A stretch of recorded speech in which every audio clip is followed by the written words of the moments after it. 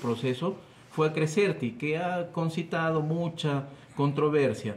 Pero hay que, o sea, en conclusión, esta empresa no ha beneficiado, podríamos decir. En realidad no, no. Eh, simplemente ellos se les contrató, hicieron el plan de operaciones que aprobamos y luego se le amplió su contrato para el licenciamiento, no se logró el licenciamiento con ellos. Fue en vano en ese sentido. en realidad sí.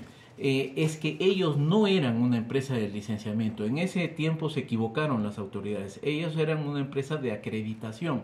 En este caso, nosotros sí hemos contratado una empresa de licenciamiento con la que estamos elaborando el expediente que es, es un montón de documentos. Son, ¿Qué empresa ahora se ha contratado? Ah, ahora es Ambrosio y Alarcón Asociados. ¿Y cuánto de presupuesto va a demandar este tema? Eh, más o menos es eh, 900, de 900 a un millón de soles. ¿Con esto se va a garantizar el licenciamiento teniendo estas malas experiencias? Se, se va a garantizar de que cumplamos con todos los requisitos que pide el modelo 1.5. Eso sí podemos garantizar.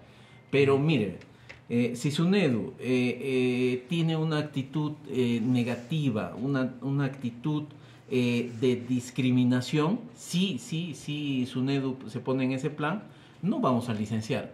Entonces, acá tenemos que, coadyuvar varios aspectos. Primero, el social. La población de Juliaca debe de tener en, en, mente de que la Universidad Andina que se está presentando es una universidad nueva o tiene características nuevas, con un nuevo sistema o un nuevo orden, hasta con nuevos docentes incluso. Eh, en segundo lugar, de que el, el respaldo de